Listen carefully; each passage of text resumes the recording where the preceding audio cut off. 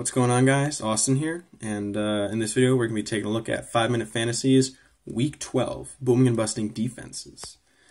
Uh, my boom defense this week is going to be uh, the Buffalo Bills going up against Denver. Uh, I really like the Buffalo defense, and although the team hasn't necessarily been performing uh, up to par, um, you know, especially with a you know with an uncomfortable loss to um, Cleveland, they have executed extremely well.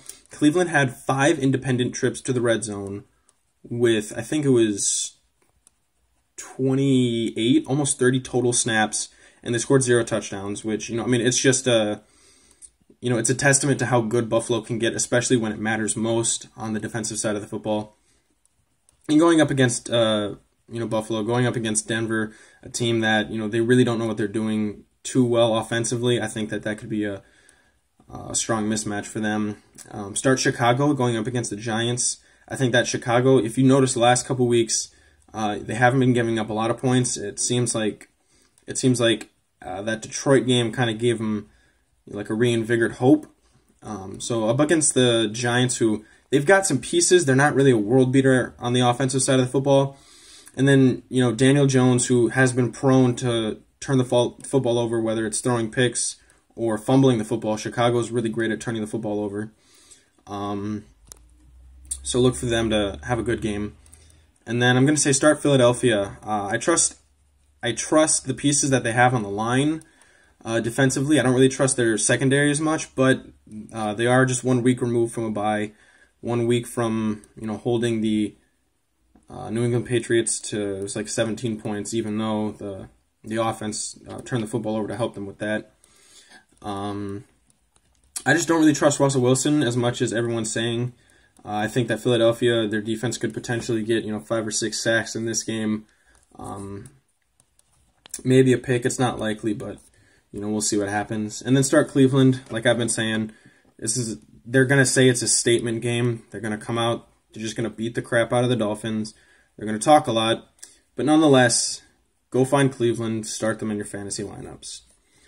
Uh, teams to sit San Francisco. I know that uh, in terms of fantasy defenses so far this year, it's been New England, San Francisco, and everybody else is way down here. But San Francisco, um, you know, clearly, you know, the a top two defense in the league. They're going up against Aaron Rodgers, who you know he's having a resurgent season. Aaron Jones, who you know is do- doing way better than I thought he would running the football. I don't trust San Francisco coming off three consecutive weeks of, even though they've had high fantasy performances, a lot of that has been on the fact that they can either turn the ball over or score when they get the football. Green Bay teams don't turn the football over. So don't don't mistake that this San Francisco 49ers defense is not going to be able to produce fantasy wise uh, that well this week. I'm going to say sit Indianapolis. Um, you know, going up against Houston, Deshaun Watson does not have bad games like he did last week. And Deshaun Watson has never played poorly in prime time. Uh, I think he's like 6 and 0 in his prime in prime time in his career.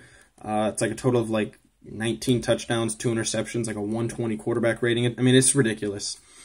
Um, even though I really do like Indianapolis's defense, it's it's it's overachieving. Um, it's what you'd think the Packers could be sometime soon not quite. Um, but I don't think they're going to be able to do much uh, tonight up against Houston.